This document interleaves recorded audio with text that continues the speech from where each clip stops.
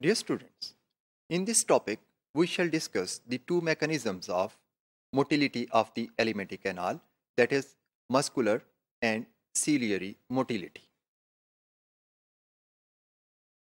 The alimentary canal uses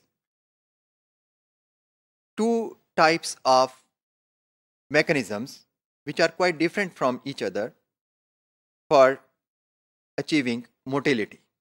These are muscular motility and ciliary motility.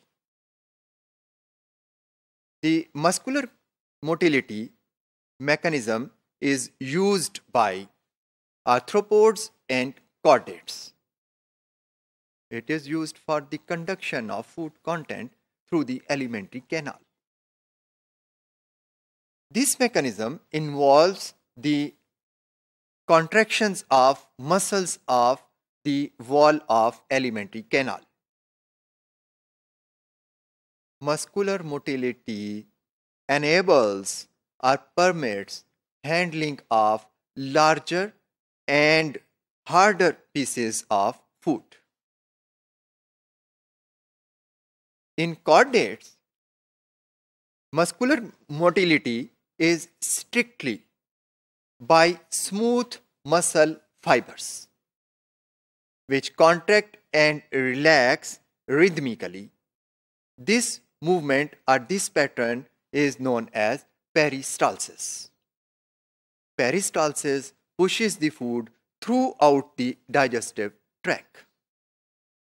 Arthropods में इसके मुकाबले में मस्कुलर मोटिलिटी ही होती है लेकिन that is achieved by the contraction of skeletal striated muscle fibers. Now we shall discuss the second mechanism of motility that is ciliary motility. This mechanism is used by the alimentary canals of annelids, many mollusks, tunicates and cephalochordates. This mechanism involves the beating of cilia which line the digestive tract. Cilia generate fluid grunts and these fluid grunts propel food in the digestive tube.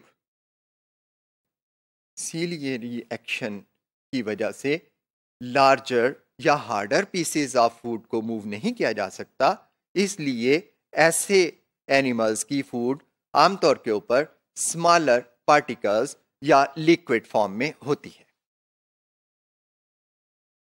Dear students कुछ animals जिनमें echinoderms और ज़्यादातर mollusc आते हैं they use both these methods their lining of the digestive tract is muscular but is also lined with cilia, so they use both these mechanisms simultaneously.